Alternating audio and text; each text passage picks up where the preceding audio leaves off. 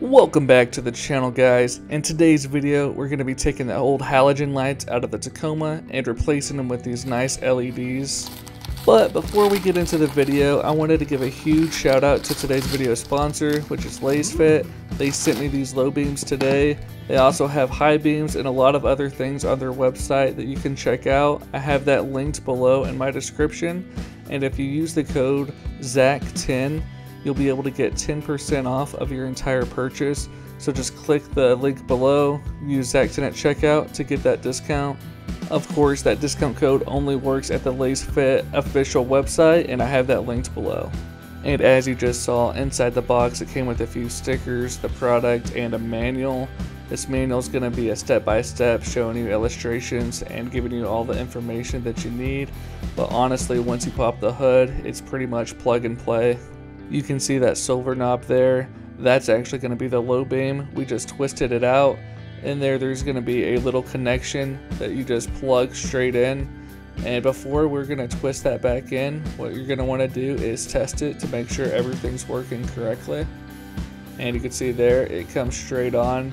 So from there, all we're going to do is put it back in. And to do that, you're literally just going to twist it back and it pops straight into place. Now before we put in the other bulb we just wanted to do some comparisons and show you what it looks like with one end and the other one out. And when they're side by side with one end and the other one off it looks like you're missing a headlight because one is so much brighter than the other and it's clearly doing all the work.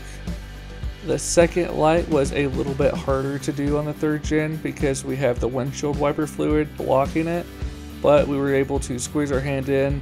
You can see here's the electrical harness, a little bit of a closer up there. You just plug that in and then you're just gonna twist the light bulb right back into place.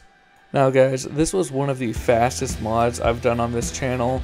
This was very simplistic, literally just plug and play. It took me 5 to 10 minutes to do both sides, and if you've done it before, you could probably do it even faster. It is a little bit hard to show people how much brighter these are than the original halogens, but according to the website, these LEDs are going to make it 400% brighter than your average halogen bulbs.